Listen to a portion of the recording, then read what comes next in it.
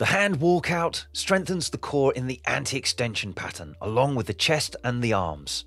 And you'll only need a mat to cushion your knees if you modify this exercise.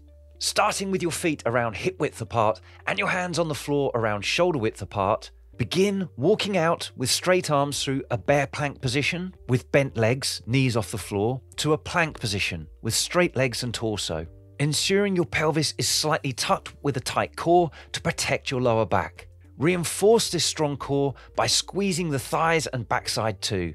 Although remaining rigid, your torso should feel like it curves slightly towards the floor throughout the exercise, not the ceiling.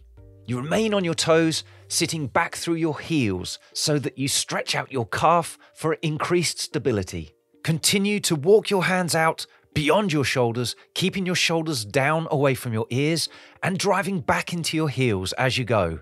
At your furthest extension, you press your palms strongly into the floor and brace your core the strongest too.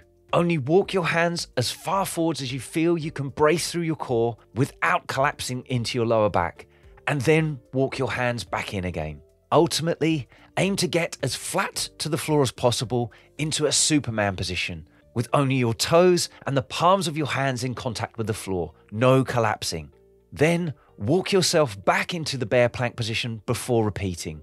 Common mistakes are prioritizing how far the hands go beyond the shoulders and neglecting the correct body position. And that means instead that the lower back arches, placing it under strain, and the shoulders can shrug up and destabilize. And do tuck your tail, but don't leave your backside far too high up in the air either.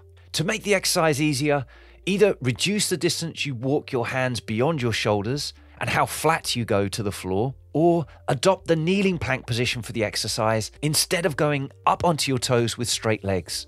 To make the exercise harder, add a between 2 to 5 second isometric hold at your full extension on each rep.